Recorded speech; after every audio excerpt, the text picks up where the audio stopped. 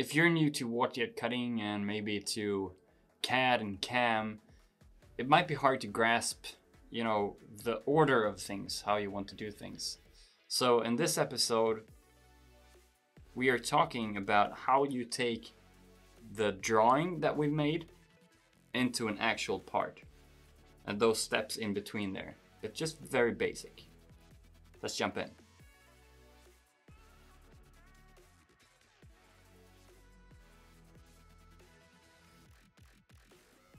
All right.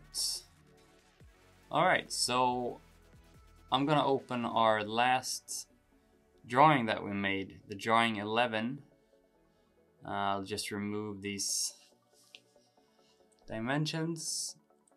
And now we have a part. So what do we do when we have this and we want to take it into production? Well, we head over to our cam tab and there are four steps we have to follow. So the first is create, and that's also represented by number one on the keyboard. Contour, which is our toolpath, number two. Order, which is the reference point, is number three, and then process, which is the function that creates our code for the machine. So we go ahead and create part. So I, I click on this and if we haven't set the machine and the material already, this window pops up. So we're using iGEM CNC with these cutting parameters, aluminium standard 10 millimeters. That looks really good. Okay. Now look down to the left, create, select objects. So I select these objects. That's the part I want to cut.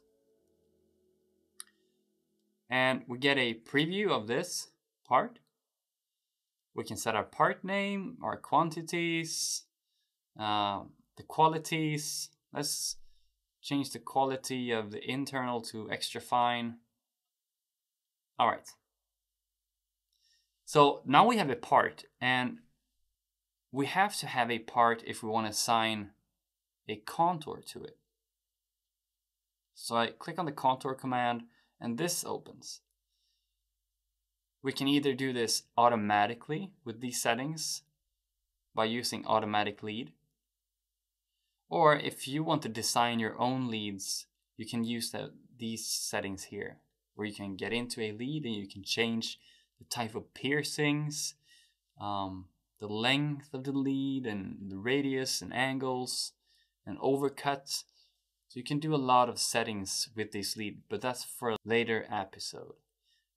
For now, we just use our automatic lead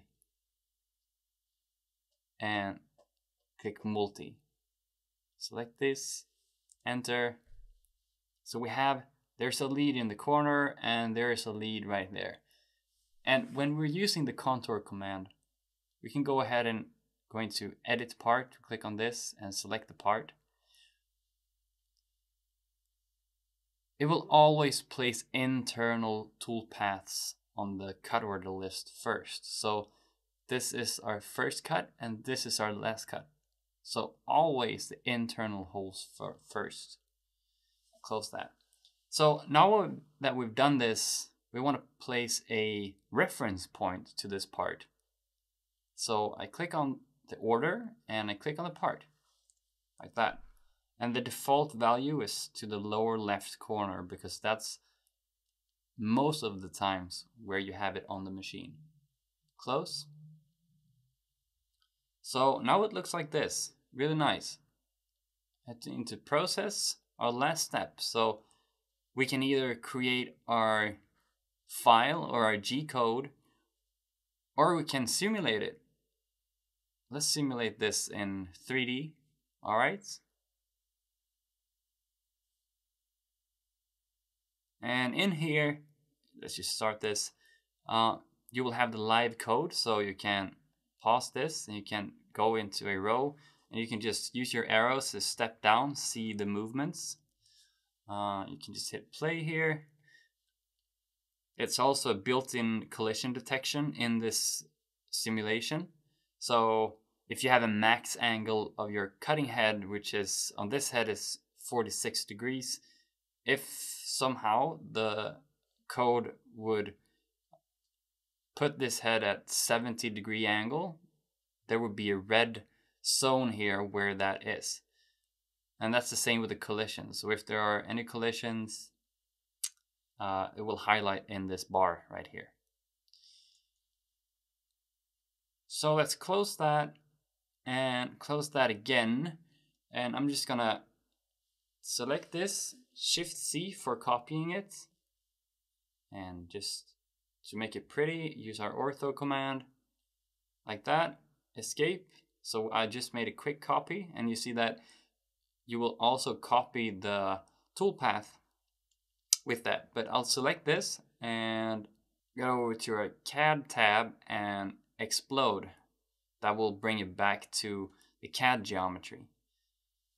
So if you're really in a hurry, you don't have the minutes it takes to set up this, there are also super automatic functions. So basically in just instead of just going create, contour, order, process, if we have set our, our uh, settings in these before, we can just use the quick command. So I click on quick and that will make a quick version of this. So it can be super fast if you don't are very very particular with like the lead placement and all of that.